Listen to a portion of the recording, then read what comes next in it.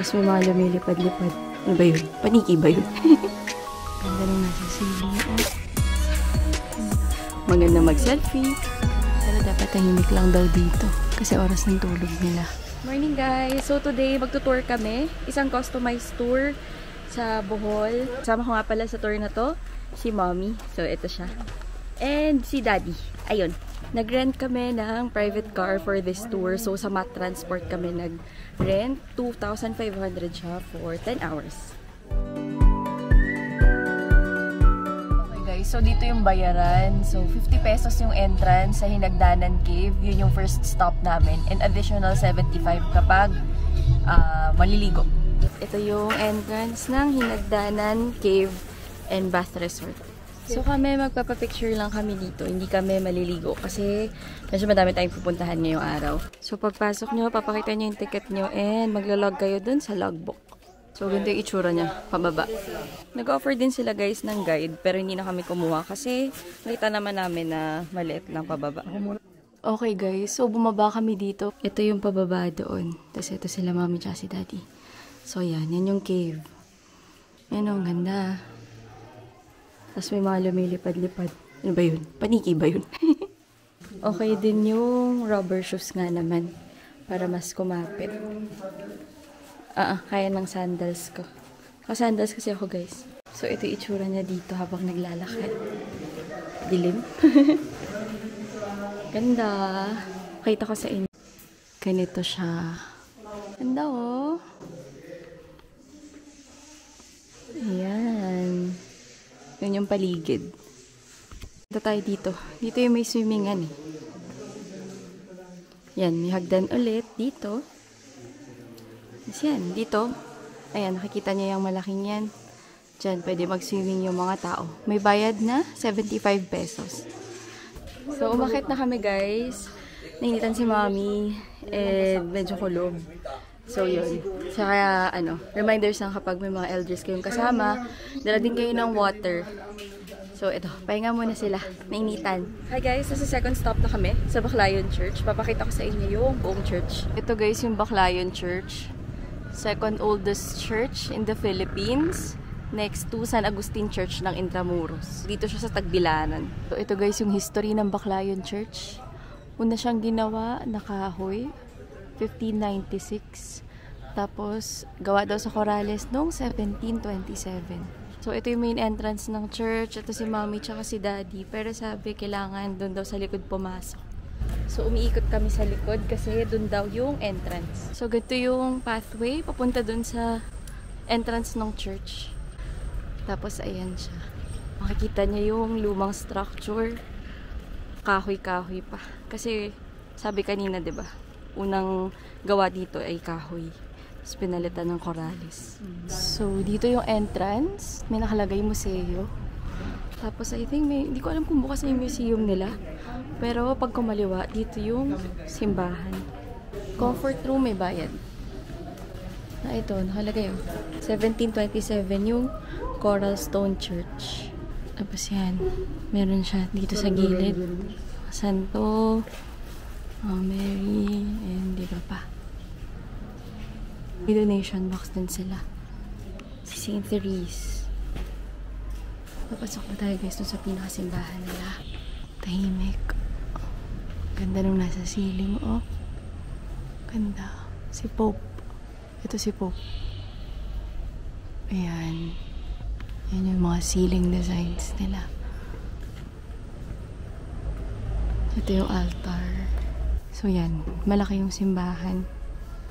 So yun guys, pwede nyo itong daanan saglit para rin makita nyo yung oldest, second oldest church sa Philippines. And kung Catholic kayo, you can say little prayer. Hindi kami nakapasok dun sa museum guys kasi sa Saturday pa siya bubuksan. And siya yung nakita nating may bayad kanina. Hi guys! Nandito na kami ngayon sa Chocolate Hills and yung entrance fee is 100. So, binayaran namin sa baba and din-top off kami dito ni Kuya.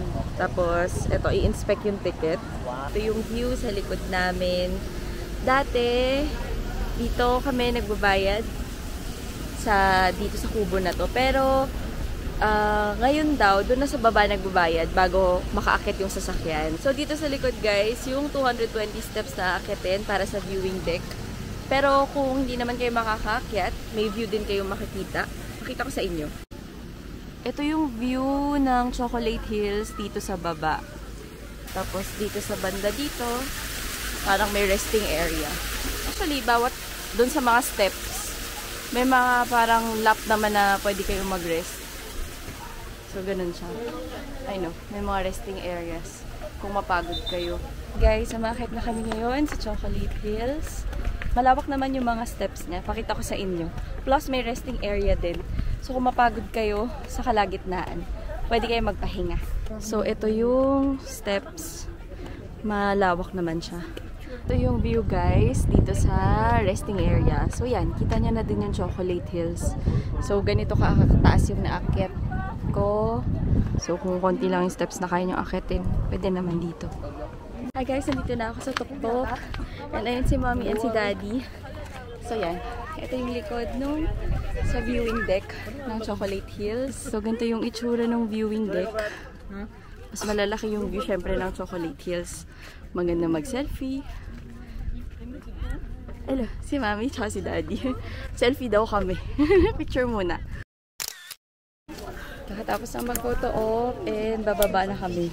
Nainitan na din ng parents. Init, di? Init. Mami, tubig. Kailangan nyo magdala ng tubig kasi mainit. Check namin yung snacks area. Medyo dumadami na yung tao. Magtatanghali na dito. Ito yung nakalagay na drinks and snacks available here. Pasok tayo. Tignan natin kung anong meron. Ayan, may peanut kisses, kay-kay, mga delicacies. So, may mga drinks sila. Ayan. Tapos, ito, may mga triple decker with french fries, chicken sandwich, hot drinks. So, yan, pwede kayong order dito pag nagutom kayo.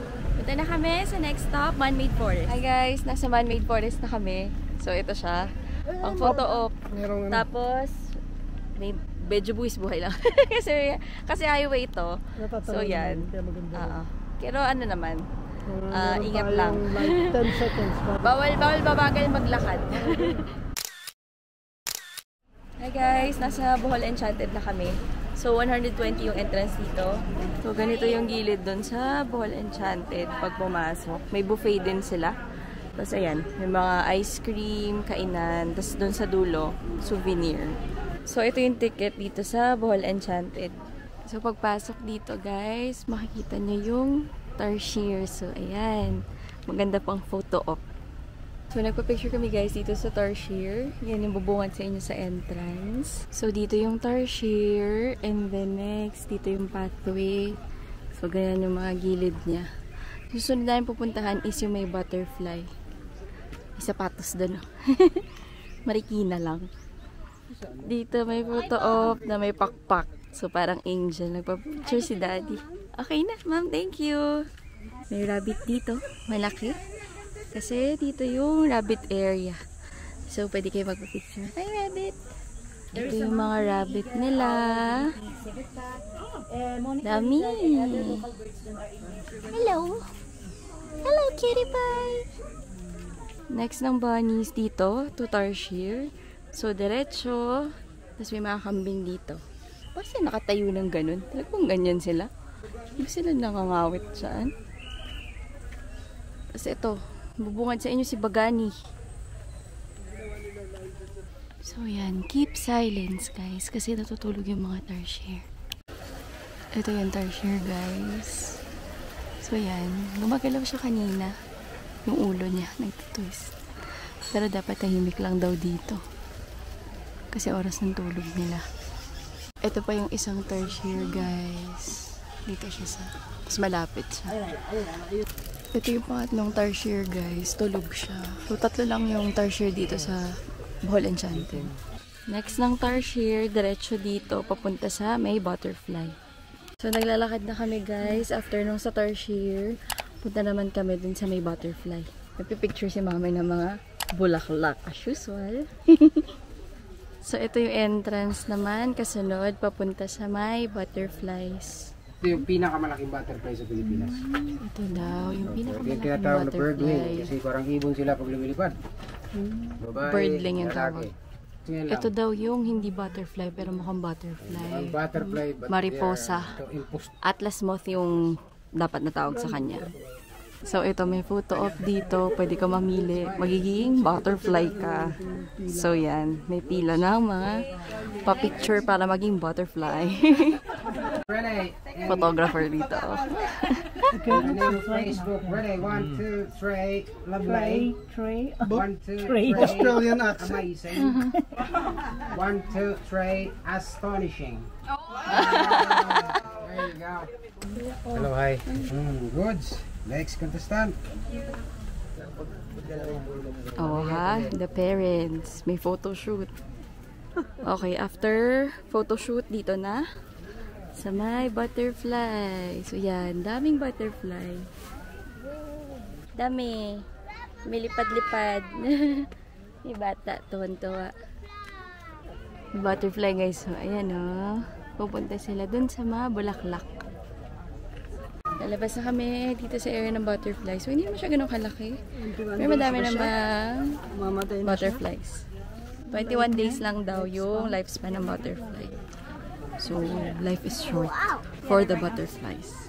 Meron dito guys na optional tunnel tour. So, magdadagdag kayo ng bayad. I think 10 pesos yata yung nadinig ko. So, ayang mga yan yung makikita nyo sa loob. Pero, di na yata kami papasok ng parents kasi gugutom na ata sila. So, di na kami nag-tunnel. Although, pwede nyo i-try guys kasi 10 pesos lang naman. Tapos, mas madami daw animals yung makikita nyo. Yan yung itsura ng exit. Parang pangbibing. so, dito kami sasakay, guys. Dito kami, guys, na bumaba dito. So, ayan. Tapos, yung iba sasayaw. Saya. So, ito yung Eiffel Tower. Ang ganda niya. Ganap ng photographer. Daddy. Daddy!